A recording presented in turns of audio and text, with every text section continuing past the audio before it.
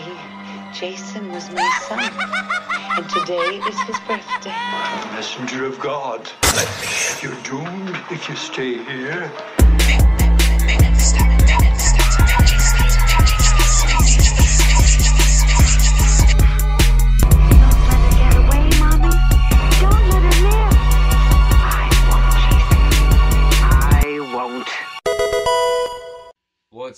Going guys? Mistah JaySin here. I, it's been a while since I did a video, and I thought to myself today, I was just like, you know what? I watched the WWE Money in the Bank pay per view last night. I have some thoughts on a few things that happened on it from some, you know, kind of controversial. People have been talking about it, mixed reactions. So I figured, you know what? It's been a while, so I'll do a video now about that. I will do my best. Usually, if I don't 100% pay attention to it, you know, like a pay per view like that, I don't keep everything in my mind. I'll be honest, I was on my phone talking to my friend about the stuff that was currently happening, so there were some things that I missed. So, the ending of the men's money in the bank. Otis. I totally missed the ending. I, I, saw, I saw Otis on, like, holding the suitcase and all that, but I totally missed the ending. I know there was a situation where a couple wrestlers, I guess, got thrown off the roof. I didn't try to look up clips or anything, but I know beforehand there was already talk about that happening, like something big. You know, everybody just already figured it was going to be people falling off the roof. It's been done before. If you think back to WCW when Hulk Hogan pushed the Big Show off of the top of a roof of a building, it's been done before. And of course, it, no harm. And I saw some people being like, "Oh, haven't they learned from Owen Hart's death of like doing stunts like that?" It's like it's been done before. It's not the first time this happened, and it was taped, so they could have done a lot of editing. It wasn't live. So, um, yeah, the men's money in the bank overall, how they kind of made it like somewhat like a movie. I really enjoyed it. I thought it was fun. It was mixed reactions from people from what I've been seeing, saying it was just wasn't a match. It was ridiculous. But you know what? When you think back to the Attitude Era, when you know that's pretty much what put WWE on the like on top.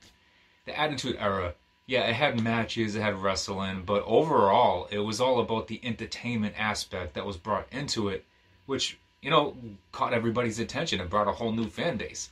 So, yeah, it's more PG ish now, I guess you can say, and more family friendly now when they do stuff like that, but at the same time, it's the entertainment aspect that brought so many people into the whole wrestling world during the Attitude Era. So, you know, going back to, not back because the back was the Attitude Era, going forward to now with all the stuff they're deciding to do now, especially with the no crowds being allowed live, you have more cinematic type matches, kind of like what you saw with the Money in the Bank. The Boneyard match wasn't even like they weren't even dressed in wrestling uniforms or anything like that. The Money in the Bank situation, even though it was inside of a head, headquarters, it was more of a match. I think that's my thoughts. These are all my opinions, so I'm gonna get criticized for my thoughts and what I think about things. I mean, my thoughts on the whole process of the entertainment aspect and all that stuff.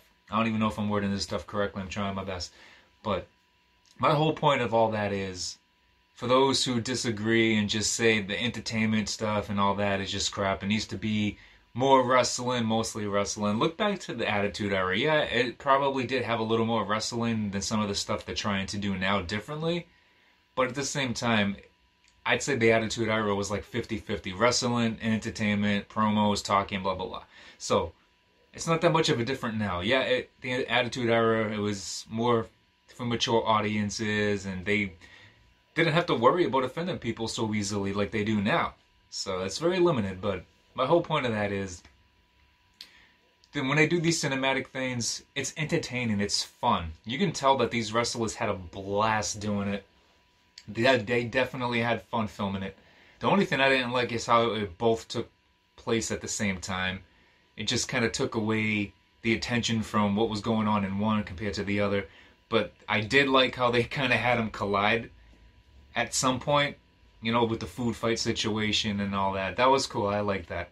But my thoughts on that match overall, as the way they did it, I liked it a lot. It was really fun. I hope they do stuff like this some more during the whole no live crowd situation, or even when the live crowds are allowed back, hopefully they do more cinematic type things like that because it's cool. I know it won't be as good for the live crowd because they won't be watching it on TV, so they'll have to do it a little differently if they continue with this. But uh, the outcome, I don't think Otis is at that level. I know some people are fans of Otis, they want him to get that push, but a lot seem like they're not happy with Otis winning. I like Otis, he's fun to watch, but not to the level of where he should get the money in the bank suitcase. But if he does cash it in for the tag titles with his partner, Tucker, like the like it's being rumored and all talked about, then yeah, okay, fine, that's cool. Hopefully they win, and it doesn't go to waste.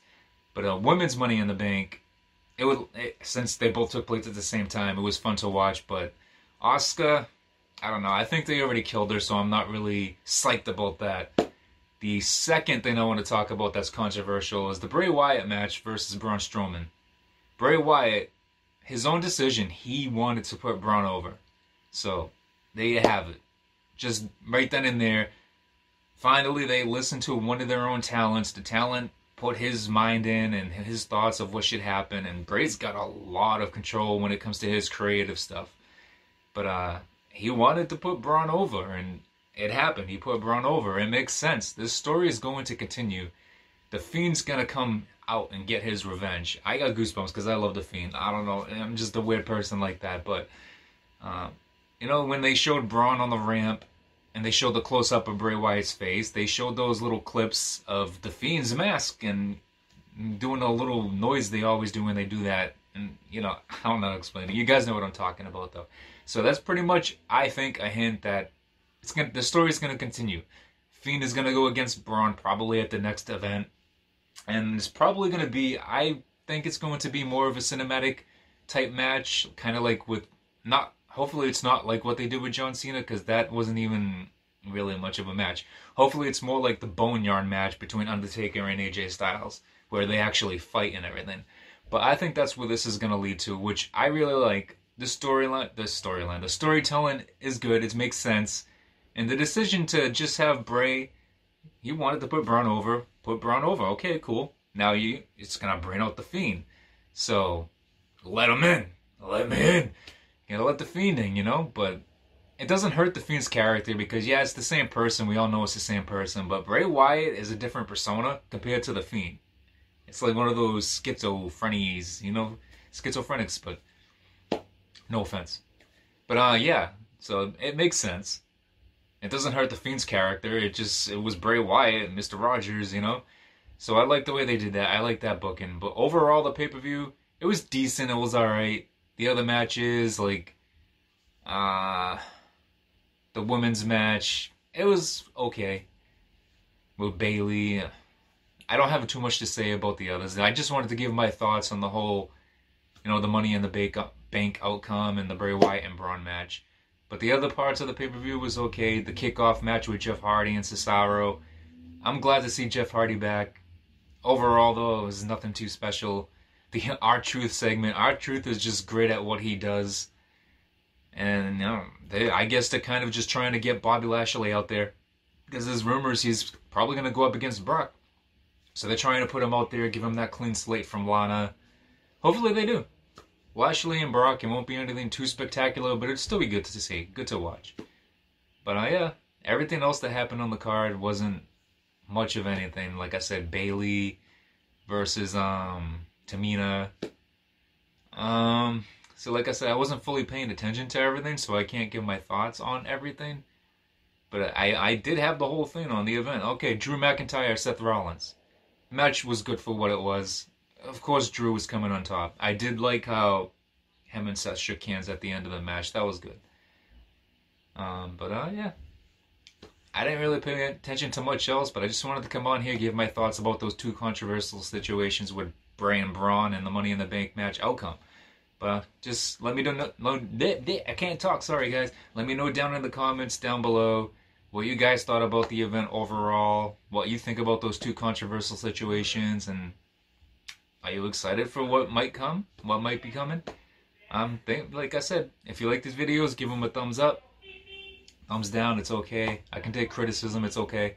And hit that subscribe button if you're not subscribed yet. And check out my other videos. I do unboxings, Pokemon Go related videos. I do Twitch streaming, so a lot of my Twitch streams are on YouTube. And I do, you know, stuff showing my collection behind me. I have a couple videos involving wrestling, like trading cards, stuff like that. So check them out. If you like what you see, subscribe and give that thumbs up. I'll see you all later. Take care. Enjoy Monday Night Raw tonight.